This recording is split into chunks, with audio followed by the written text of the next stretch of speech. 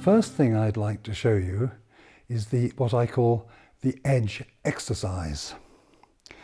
You've already seen me taking a number of shavings off this edge and the question is, is it flat?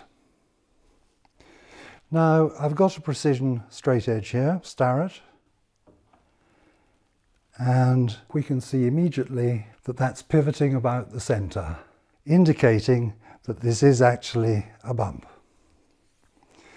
Now what I was taught 40 years ago was the, that the way to get a straight edge was first to deliberately plane it hollow. I do this with what I call stop shavings. My shaving will start just inside this end and it will finish just inside that end.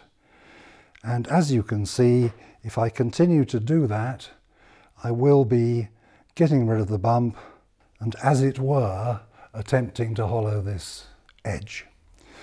The shavings you saw me take earlier, which went right through, I call through shavings.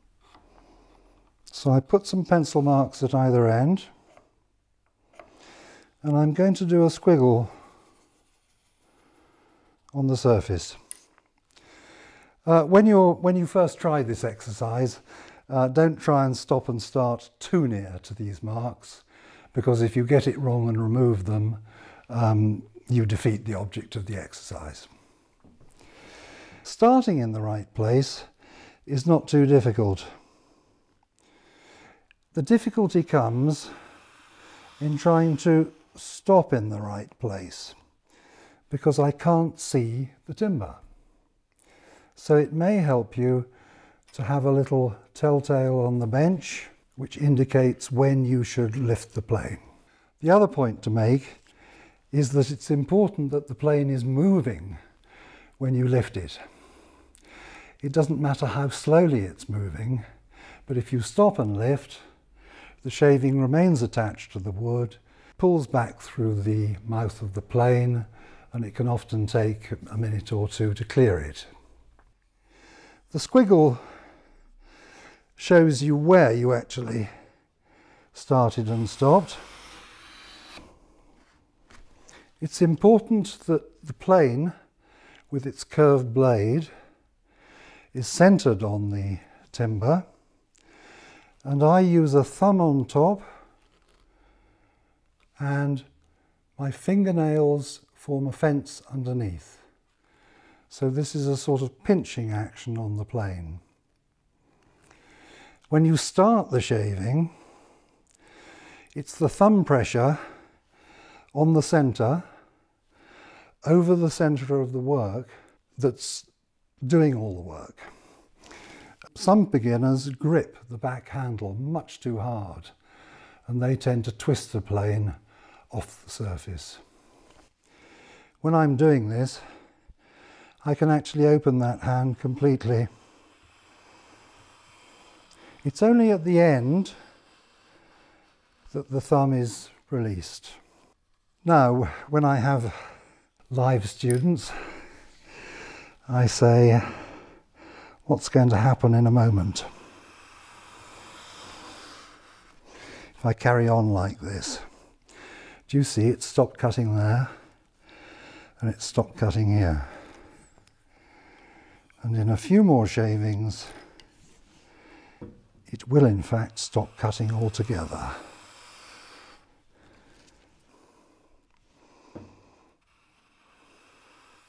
You'll perhaps notice that I'm trying to plane with my legs as much as possible.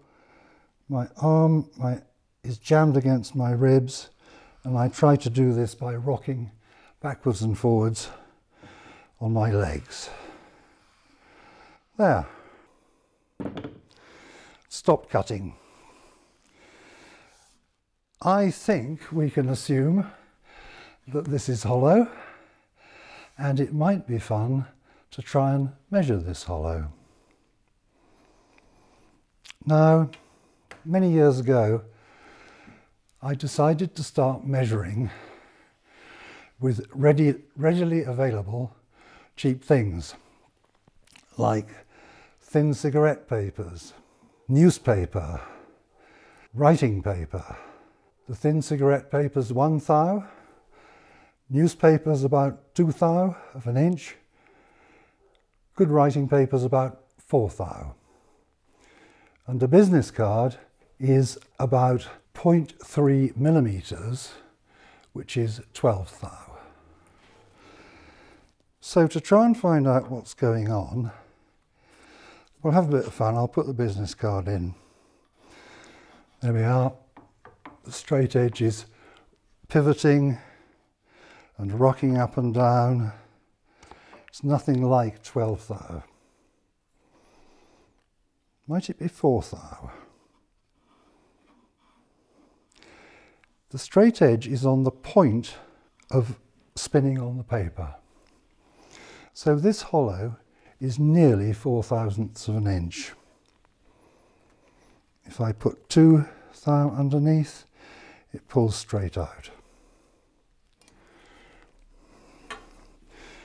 Now, I can't leave my edge in this condition. There are in fact little steps here where I started my shaving and finished my shaving and it's got the pencil scribble on it. So what I do is allow myself to have one or two clean up shavings. There's still some pencil, so I will take two clean up shavings.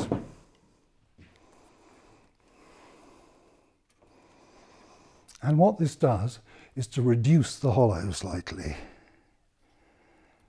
I'm now clearly spinning on the fourth thou shim.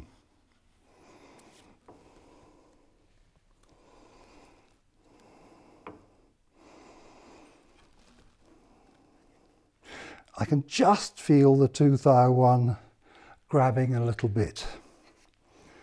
So this edge is now two thousandths of an inch hollow over 20 inches long. And I consider that to be straight. I think it's a remarkable tolerance for a hand tool on timber.